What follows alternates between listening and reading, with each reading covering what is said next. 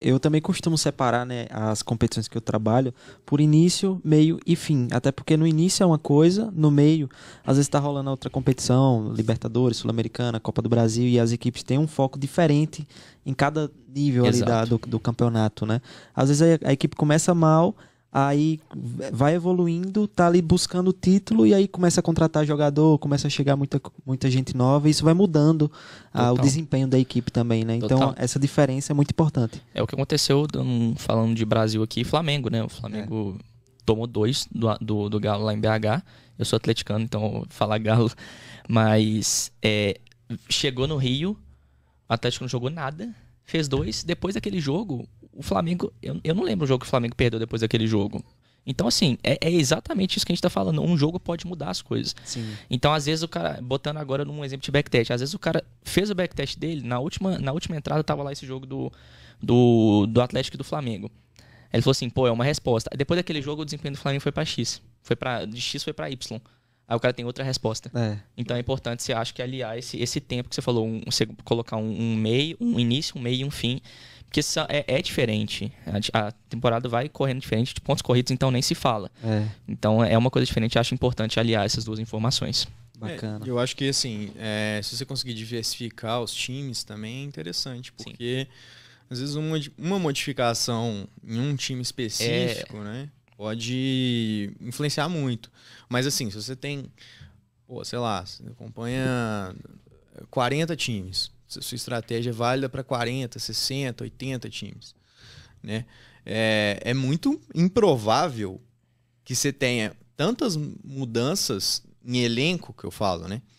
Não em isso é, fase de campeonato, sim, mas assim, em elenco que afetem todos esses times para mudar tanto o comportamento tão rápido assim, de ter uma mudança brusca. É, o famoso botar todos os ovos na mesma cesta, né?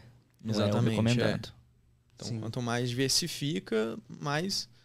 É isso para tudo, né? Eu acho. Não é só para aposta, mas para investimento, para qualquer outro aí, tipo de coisa. Pra... Foi bom você tocar nesse ponto, que aí eu acho. Eu tenho uma opinião aí de outra coisa. Por exemplo, eu acho importante essa questão na, na estratégia, você diversificar campeonatos e tal, testar, avaliar outros pá. Mas em questão de quantidade de estratégias que você trabalha, isso é um ponto que a gente bate muito lá na comunidade que a gente tem hoje da, da Robotip. É, o pessoal cisma muito que tem influência de amiga, que meu amigo aposta em escanteio, meu amigo aposta em gol, meu amigo aposta em handicap. Aí o cara fica perdido no início, cria bots, estratégias de várias coisas, entendeu? Para betar, e ele fica perdido no que, que ele vai focar. Então, então já passando até uma dica previamente aqui, o que eu teria feito, até eu fiz isso, errei no início. O que eu teria feito diferente nisso? Foca em uma, velho. Foca, mas assim, foca mesmo. Vai naquela até você espremer o último suco ali da laranja, pega todos os insights possíveis que você puder daquilo Validou? Bacana, não validou? Aí sim você segue pra próxima. Até entendeu? porque você pode montar uma estratégia que não dê certo no começo, né? Exato. E aí só é ajustar. Ajustar alguns pontos, mudar alguns padrões e fazer ela dar certo. Que é Se você fica em várias, você faz todas darem errado e para no meio do caminho. O cara fica perdido. Entendeu? O cara fica muito perdido. Eu tenho clientes aqui que estão com a gente, hoje estão há seis meses já, mas no início bateram muita cabeça, entendeu? Até que chegou um ponto que o cara, que o cara validou uma aqui de escanteio e falou assim comigo, cara, eu tive que parar, focar em uma para validar. Então ele puxou backtest, tanana, só de uma, só de uma, martelou, martelou, martelou, mas no início ele tava gols. No início ele tava uma linha asiática de canto, ele não decidia a linha que ele ia. Então ele ficava lá matetando, matetando e não ia para nada. Entendeu? Então, tipo assim, dá, dá, foca sua energia em uma coisa, depois você vai para outra Pessoal, acho que isso é um problema hoje da sociedade, né? Não é nem só de aposta. O pessoal quer fazer tudo ao mesmo tempo.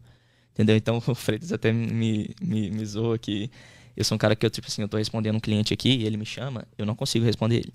Não consigo, eu tô aqui. Não, eu, ele é eu... é meio lento nisso. Não, né? isso, isso, aí não vem botar a culpa aqui, na sociedade, eu não. Aqui, eu tô fazendo aqui, eu não consigo. Tem nada de sociedade. Eu gosto de fazer aqui. outra, outra coisa que me ajudou, que eu tenho lá um aplicativo chamado Todoist, lá que eu faço enquanto eu não termino uma coisa, e aí eu consigo marcar, né? Eu no to que eu faço. Eu vi que você também marca, é, né? Eu marco no pois, Trello. É, pois é, eu tinha um Trello também. Aí, enquanto eu não termino de marcar lá de fazer, eu não respondo Freitas, eu não faço outra coisa, tal, eu vou lá fazendo tem. Eu não consigo, não consigo mesmo. E tipo assim, isso aplica muito lá na plataforma, e eu vejo que algumas pessoas poderiam fazer isso, que ajudaria muito, é focar a energia é. naquilo. Foca a energia naquilo, ali daquilo, Depois você passa para outra. E, e, e, mesmo assim, se a sua estiver indo bem, foca naquilo. Foca um tempo naquilo. Depois você vai estudando outra coisa à parte. É, é a questão do planejamento né? e é. organização, que é muito necessário nas apostas. Muita gente é muito imediatista, muito ansiosa também, e aí quer fazer uma estratégia funcionar em uma semana, por exemplo. E aí leva tempo, né? Leva. Não é prazo de validade, mas número de apostas para poder validar tudo isso. É o que a gente falou de discurso chato, né? É. A gente vende esse discurso e a gente fala: você tem que estudar, não vai ser da noite pro dia. Então a gente tem, não tem problema nenhum em falar isso aqui. A gente tem muitos caras que já chegaram, compraram, fizeram bot lá em um dia. Cara, não deu certo para mim. Você pode, posso pedir um reembolso? Claro, pode, tá no seu direito. Entendeu? Pode, mas por que você pediu? Ah, porque o bot não deu certo. Tá, quanto tempo você comprou? Ah, comprei ontem. Ah, beleza então. Tá é. Entendeu? Aí você vai falar o que com o cara? O cara vai ter que tomar uma pancada no mercado, vai ter que entrar num grupo e mal, vai ter que pra depois voltar, como já aconteceu, vários voltaram. Falar assim, não, eu vou insistir um pouquinho aqui e vou tentar. Entendeu? É. Então, tipo assim, quem não... quer, consegue lá. É, quem quer, é. consegue. Igual eu te falei, o cara ficou batendo cabeça aqui três meses validou uma estratégia. Hoje consegue fazer, já mandou print aqui, 25% da banca. Entendeu? O cara consegue. Se ele quiser, ele consegue. Se ele martelar, se ele insistir, ele consegue. Eu te garanto que ele consegue. Por quê? Vai insistir, vai estudar, vai aperfeiçoar, vai acompanhar, porque método é um, eu gosto de falar que é um filho, né? Você tem que ficar acompanhando. É. Não, não tem jeito, você tem que ficar mudando. Não adianta você falar, ah, eu tenho um método validado. Até o, o Eric fala muito isso, né? Eu não gosto da palavra validado porque é uma palavra que você que acha que não precisa mais mudar. Mas não é assim. O pessoal tem muito essa cabeça, ah, eu tô, tenho um método validado, não vou mexer. Cara, esquece. Você vai ter que mexer muito, é. entendeu? É, pra nada, né? Pra nada existe um negócio é, certo, assim, exato. né? É, se, se fosse certo, todo mundo tava milionário no mercado. Ah, o, o, o, funil é a melhor estratégia do mercado. Tá, beleza. Então faz lá, vê na prática, entendeu? Pra você ver que não vai ser a estratégia que vai dar mais certo para você, entendeu? Aí o cara vê o funil, aí o cara vê. Isso, nossa, cara, isso me irrita de muito. O cara vê, tá fazendo uma estratégia de escanteios, por exemplo. Hoje eu acho engraçado, né? Mas vê uma estratégia de escanteio e sai um gol. Naquela estratégia, o cara, vou testar uma de gol. Aí ele para do que ele tá fazendo, vai testar uma de gol, porque ele viu que naquele jogo saiu um gol. Entendeu? Não tem um longo prazo, não né? Não tem, o cara não consegue ter uma semana ali, uma semana para dar um espaço para estratégia dele.